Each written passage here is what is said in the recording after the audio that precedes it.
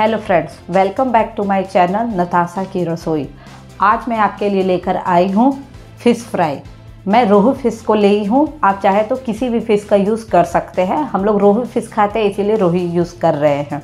तो चलिए, सबसे पहले फ़िश को मैरिनेट करते हैं।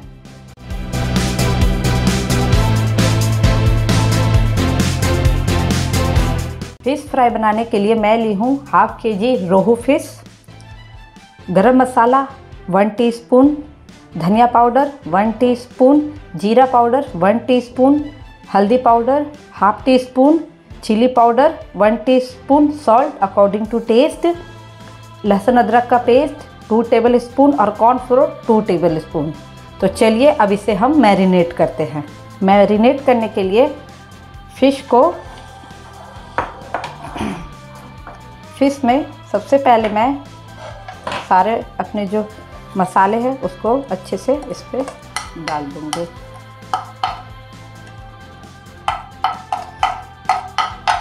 ये देखिए।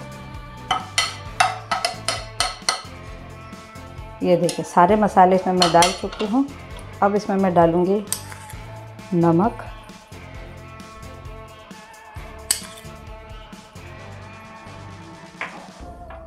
इसमें मैं कॉर्नफ्लोर ली हूँ टू टेबल स्पून इसे भी मैं सारे इसमें अच्छे से डाल दूँगी। इसमें मैं डालूँगी अदरक लहसुन का पेस्ट टू टेबल स्पून इसे भी मैं इसमें अच्छे से डाल दूँगी।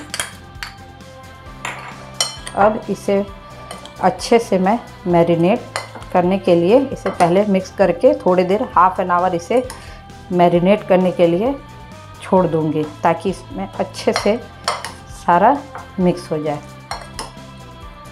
आप कॉर्नफ्लोर के जगह इसमें बेसन का भी यूज़ कर सकते हैं बट कॉर्नफ्लोर में ये ज़्यादा आपको क्रिस्पी लगेगा, ज़्यादा अच्छा फ्लेवर आता है, इसलिए मैं कॉर्नफ्लोर ही यूज़ करती हूँ।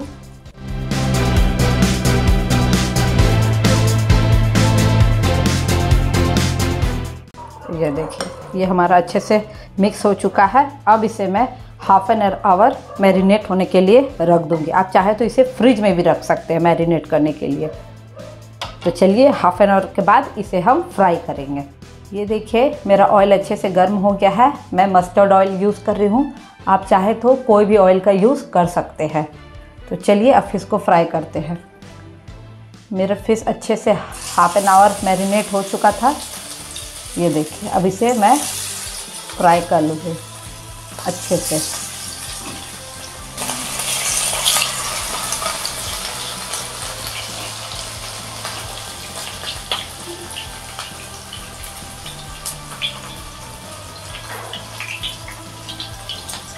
इसे हम फुल फ्लेम में भी फ्राई करेंगे। फ़िश को लो फ्लेम में कभी भी फ्राई नहीं करना चाहिए, नहीं तो वो जल्दी टूट जाता है, क्योंकि फ़िश बहुत ही जल्दी फ्राई होता है हमारा।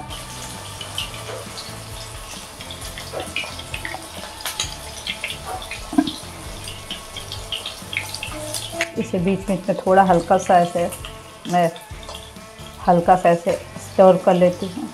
आप इसे बीच बीच में ऐसे चेक करते रहें, बिल्कुल। एक बार मैं इसे, अब इसे थोड़ा पलट कर ये देखिए।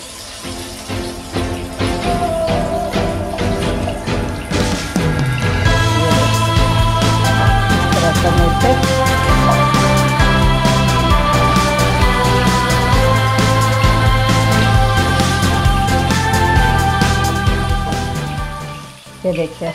अब हल्का सा फ्लेम को मीडियम फ्लेम पे मैं दूसरे साइड मीडियम फ्लेम पर इसे फ्राई करूँगी। नहीं तो फिर ये अंदर से थोड़ा कच्चा भी रह जाएगा। याद रखिए कि फ्लेम को बिल्कुल लो नहीं करना है।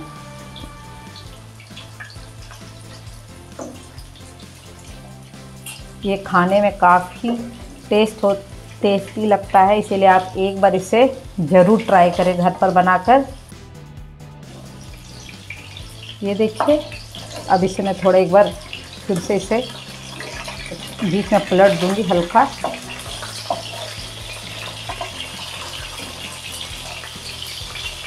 ये देखिए। और यहाँ पर भी मैं थोड़े से और हल्का सा मीडियम फ्लेम में इसे और फ्राई करूँगी, दूसरे साइड भी। अब मैं गैस को फुल कर दी हूँ ताकि अच्छे से मेरा क्रिस्पी हो जाए हल्का।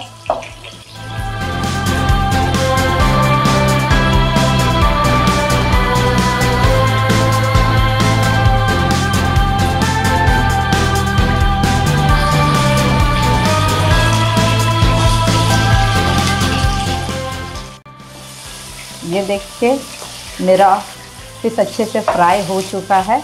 दोनों साइड में अच्छे से, ये देखिए, काफ़ी अच्छे से फ्राई हो चुका है।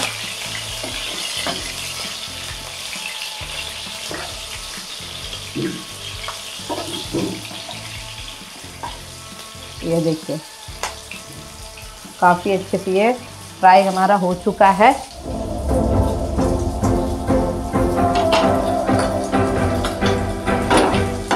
अब मैं एक प्लेट में टिश्यू पेपर ले ली हूँ। मैं उसी में निकालूँगी फ़िश को, ताकि मेरा एक्स्ट्रा जो भी ऑयल होगा वो हमारा निकल जाएगा। ये देखिए, अब चलिए इसी तरह हम अपने सारे फ़िश को फ्राई कर लेते हैं। ये देखिए, इसी तरह मैं अपने सारे फ़िश को फ्राई कर लेंगी। ये देखिए।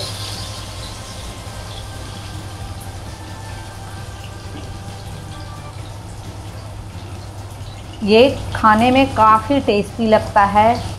ये बहुत ही अच्छा है। ये झटपट बनने वाला एक स्नैक्स के रूप में है। आप चाहे तो इसे कभी भी, चाहे तो घर पर तुरंत बनाकर झटपट खा सकते हैं। ग्रेवी वाली फ़िश बनाने में टाइम लगता है बट ये फ़िश तुरंत बन जाता है। ज़्यादा टाइम टेकन नहीं है, इसलिए आप इसे झटपट घर पर बनाएँ और ज़रूर से खाएँ।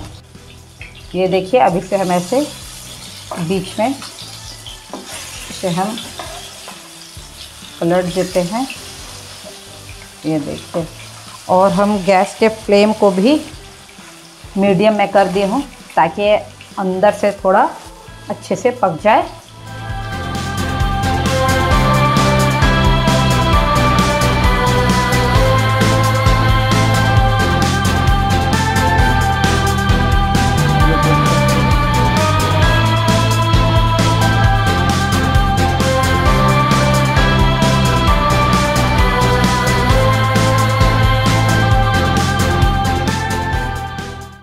ये देखिए, मेरा फ़िश अच्छे से फ्राई हो चुका है।